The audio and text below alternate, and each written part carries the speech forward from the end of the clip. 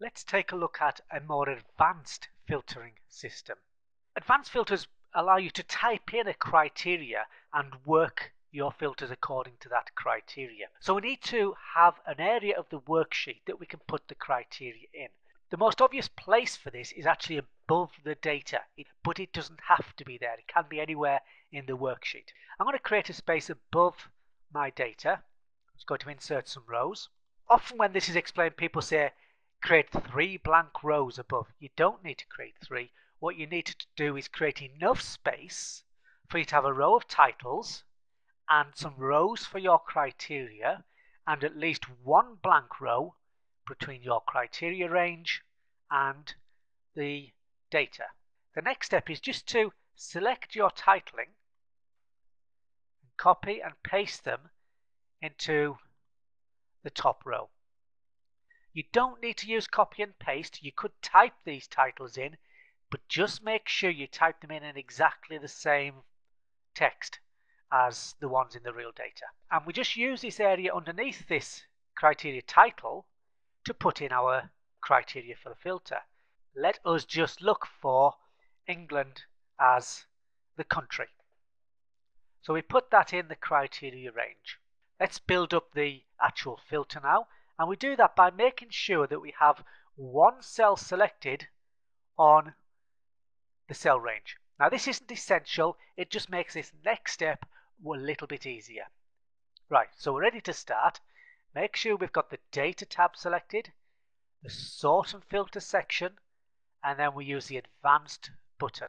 That brings up the Advanced Filter dialog box, and basically we use this to dial up our filter. The first option is where do we want the results of the filter to be? Do we want the results to be left in place where they are now, or we can actually copy the results to another location. So I'm going to leave this filter in place to start with. The next thing is to choose the data range, the list of data.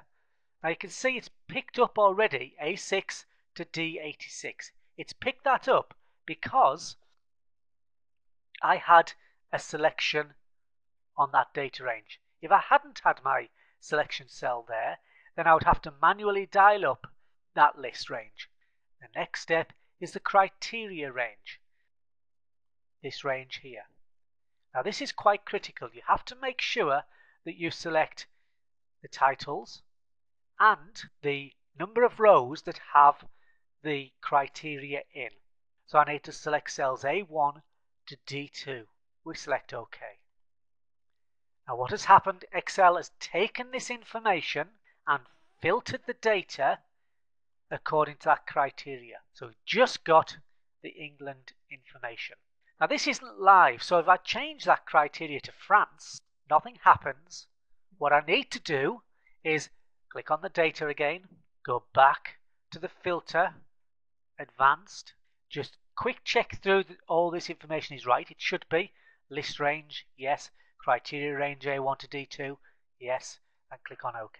So it's refiltered. So that's a really quick way of doing your filtering.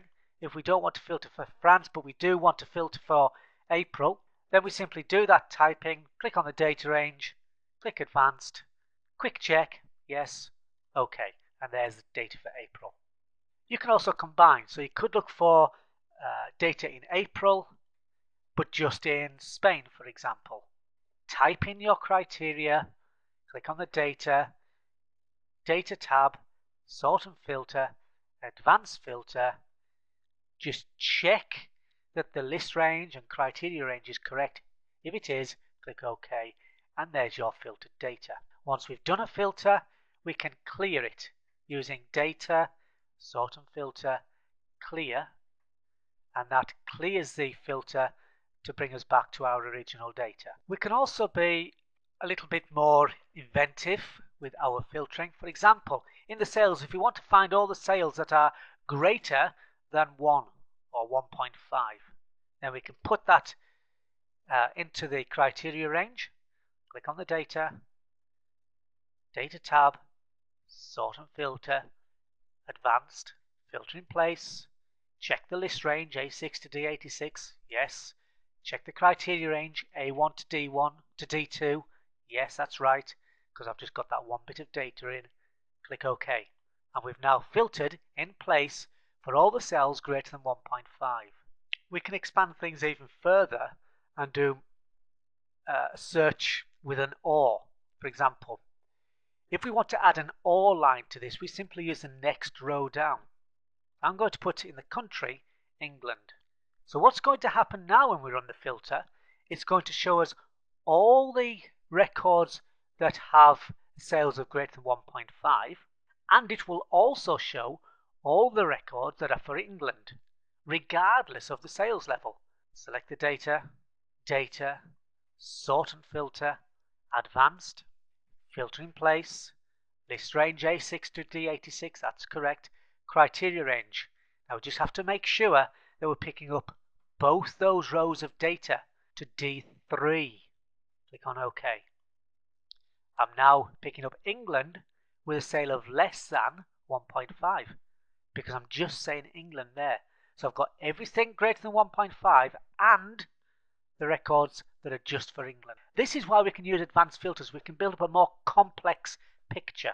If I just delete England a second and show you one of the dangers that we've got. If I just run, want to run this filter now, click on the data, data, sort and filter, advanced, filter in place, list range A6 to D86, criteria range A1 to D3, click on OK. Now you'll be able to see there that I'm asking to filter over 1.5, but I'm drawing things that are less than 1.5. Why could that be? Let me just show you the advanced dialog box again and think more carefully this time. Filter in place, yes. List range A6 to D86, that's the full data, yes. Criteria range A1 to D3, let's just have a look at that. A1, yes, to D3. Can you see that bottom row is blank? But the computer can't treat it as blank, it can't ignore it, it's got to use it. So it's bringing back all the records that are greater than 1.5 and all the records without a filter. So it'll show every single record. So you do have to be careful just to make sure that in the criteria range you select the titles and just the right number of rows that contains data. and now that's now correct. Only figures greater than 1.5. We can now look at um, copying the information elsewhere. Let's find all the records for Spain. So I've put my criteria in, click on the data, select data, sort and filter, advanced. This time we're going to copy to another location. The list range is A6 to D86, that's still correct. Criteria range, let's just make sure that we're just picking up A1 to D2 Yes. Now, where can I copy this information to? Just going to click on the drop down box and I'm going to put it down here in cell, we'll start it in cell A120. That's where I want the copied data to go to. Expand that up again, click on OK. And you can see what's happened. So I've got at the bottom here my filtered data for records just in Spain. So it's copied that information to a new location. What I'm going to do this time is just have, okay, C120. Let's remember that. Go to run the filter again. Select the data, data, sort and filter, advanced, list, copy to another location. There's my data, criteria range A1 to D2. This time copy to, what I'm going to do is select that title that I put down here. I'm going to click on C120, expand that up, click on OK. Scroll down to see 120 and you can see what happened there is because we used the, just one title there, it's only brought out the Spain data, just the information I was looking for. Let's see if we can expand that one more. I've just brought down the title there for the country and the sales. So if we want to find the values uh, for sales in Germany. Put that into my criteria range. Click on the data, select the data tab, sort and filter advanced, copy to another location, list range A686, correct, criteria range A1 to D2, correct, copy to, I'm going to select now C20 and D120, those two titles, expand that up, click on OK. It's copied those records to show me just the sales in Germany.